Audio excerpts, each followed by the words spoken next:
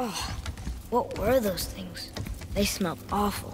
Your mother called them scorn poles. Poison magic. She was the one who showed me how to disable them. what?